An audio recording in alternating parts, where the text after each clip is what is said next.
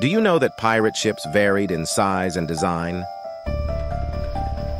The classic image of a pirate ship often includes a large vessel with multiple masts and cannons. The most famous pirate ship was the Queen Anne's Revenge, captained by Blackbeard.